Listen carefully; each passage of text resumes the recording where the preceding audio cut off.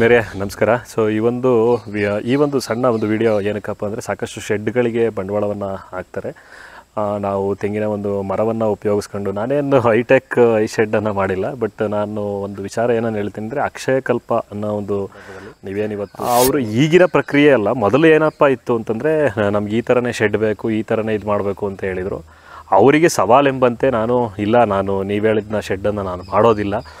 ನನಗೆ ನಮ್ಮ ಹತ್ರ ಇರ್ತಕ್ಕಂಥ ಪರಿಕರಗಳನ್ನು ನಾನು ಉಪಯೋಗಿಸ್ಕೊಂಡು ನಾನು ಶೆಡ್ ಮಾಡ್ತೀನಿ ಅಂತ ಹೇಳಿದಾಗ ಸ್ಟಾರ್ಟಿಂಗ್ ಅವ್ರು ಒಪ್ಪಲಿಲ್ಲ ಬಟ್ ಆಮೇಲೆ ನಾನು ಮಾಡಿದೆ. ಅದಾದಮೇಲೆ ನನಗೂ ಅವ್ರಿಗೊಂದು ಇದು ಬಂತು ಬಿಟ್ಟೆ ನಾನು ಅದನ್ನು ಅವ್ರನ್ನ, ಅವ್ರಿಗೆ ನಾಲ್ಕು ಕೊಡಲಿಲ್ಲ ಮತ್ತು. ಸೊ ನೋಡಿ, ಈ ಈ ಸಿಂಪಲ್ ಶೆಡ್ ಅಂದರೆ ಏನಕ್ಕೆ ಕೇಳ್ತಾ ಇದ್ದೀನಿ ಅಂತಂದರೆ, ನಮ್ಮಲ್ಲಿರೋ ಪರಿಕರಗಳನ್ನು ಉಪಯೋಗಿಸ್ಕೊಂಡು ಸಾಲ ಮಾಡಿ ಅತಿ ಹೆಚ್ಚು ಮಾಡಬಾರ್ದು ರೈತರುಗಳು ಅನ್ನೋ ಒಂದು ಉದ್ದೇಶಕ್ಕೋಸ್ಕರ ಈ ಒಂದು ವಿಡಿಯೋವನ್ನು ಮಾಡ್ತಾ ಇದ್ದೀನಿ. ನೋಡಿ ಕಲ್ಲುಗಳನ್ನು ಉಪಯೋಗಿಸ್ಕೊಂಡಿದ್ದೀನಿ. ಅದಾದ ನಂತರ ಮರಗಳನ್ನು ಉಪಯೋಗಿಸ್ಕೊಂಡಿದ್ದೀನಿ, ತೆಂಗಿನ ಮರಗಳನ್ನು. ಸಾಲದಕ್ಕೆ ನಾನು ಗ್ರೌಂಡಿಂಗನ್ನು ಬಹುಶಃ ನನ್ನ, ನಮ್ಮ ಒಂದು ಈ ಶೆಡ್ಡನ್ನು ನೀವೇನು ಗ್ರೌಂಡ್ ಫ್ಲೋರನ್ನು ನೋಡ್ತಾ ಇದ್ದೀರಲ್ಲ, ಈ ಫ್ಲೋರ್ ಬಂದು ಸಾಧಾರಣ ಹನ್ನೊಂದು ವರ್ಷ ಆಗಿದೆ.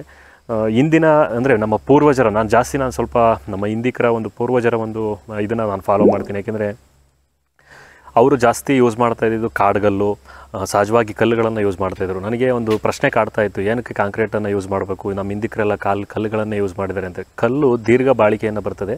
ಅದಕ್ಕೆ ಸ್ವಲ್ಪ ವರ್ಕೌಟನ್ನು ಮಾಡಬೇಕಾಗ್ತದೆ ಅಷ್ಟೇ.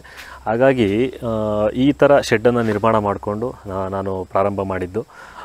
ಗೊಂತನ್ನು ಕೂಡ ಸಿಂಪಲ್ ಒಂದು ಇದರಲ್ಲಿ ಮಾಡಿದ್ದು ಕೂಡ. ನೀವು ಈ ರೀತಿ ಏನಾದರೂ ಮಾಡಬೇಕು ಅಂತಂದರೆ ಖಂಡಿತ ಮಾಡಿ. ನಾನು ಇಲ್ಲಿ ನೋಡಿ ಎರಡು ಲೈನ್ ಅಷ್ಟೇ ಹಾಕಿರೋದು ಚಪ್ಪಡಿನ.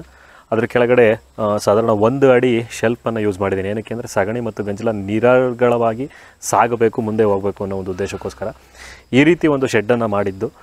ನಿಮಗೂ ಏನಾದರೂ ಇಂಟ್ರೆಸ್ಟ್ ಅನಿಸಿದ್ರೆ ಈ ಥರ ಶೆಡ್ ಮಾಡ್ಕೊಳ್ಳಿ. ಕಡಿಮೆ ಖರ್ಚಿನಲ್ಲಿ ಸುತ್ತ ಒಂದು ಫೆನ್ಸಿಂಗನ್ನು ಮಾಡ್ಕೊಳ್ಳಿ.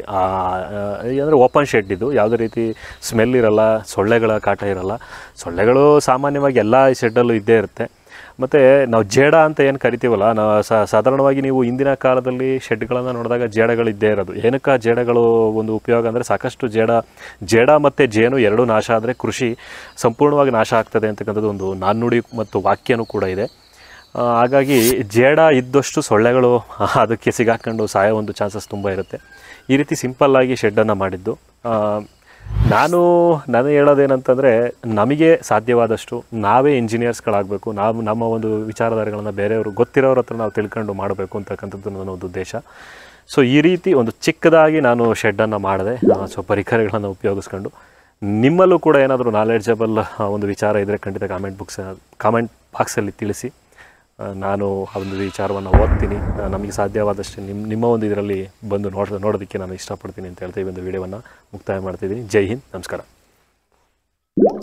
ರಾಜಕಾರಣಿಗಳ ಥರ ಅರ್ಧ ಕೆಲಸ ಮಾಡದೆ ಸಂಪೂರ್ಣವಾಗಿ ಚಾನಲನ್ನು ಯೂಟ್ಯೂಬ್ ಚಾನಲನ್ನು ಸಬ್ಸ್ಕ್ರೈಬ್ ಮಾಡ್ಕೊಳ್ಳಿ. ಇನ್ಸ್ಟಾಗ್ರಾಮ್ ಫೇಸ್ಬುಕ್ಕಲ್ಲೂ ಕೂಡ ಫಾಲೋ ಮಾಡಿ.